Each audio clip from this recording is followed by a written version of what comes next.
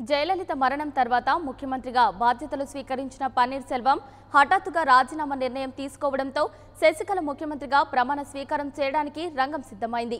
అయితే శశికళను వ్యతిరేకంగా ప్రముఖ ర్యాపర్ సోఫియా అఫ్రాష్ తన పాటతో నిరసన గలాన్ని వినిపిస్తోంది. ప్రజాస్వామ్యంలో ప్రత్యక్ష రాజకీయాల్లో పోటీ చేయకుండా ముఖ్యమంత్రిగా అధికారంలోకి రావడం ప్రజాస్వామ్యాన్ని కూని చేయడం అంటూ ఆమె తన బ్యాండ్తో కలిసి డిజిటల్ ప్రచారం సాగిస్తోంది. disturbed by what's been happening in Chennai right now. Uh, democracy is, has taken a huge hit, and here's what we think about it. We're on Binny Road right now. காசு அடிக்கிற லஞ்சம் கொடுக்கிற பாவி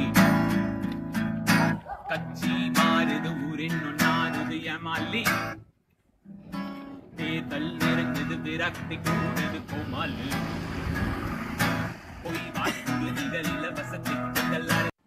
We are உங்கிட்ட உதவி கேட்டனா? உன்னோட பதவி கேட்டனா?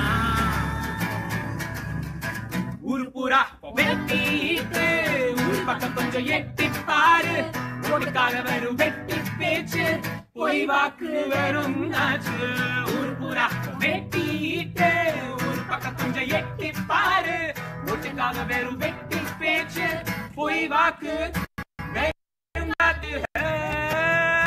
இங்க யாரும் சரியில்லை ஏன் For more updates,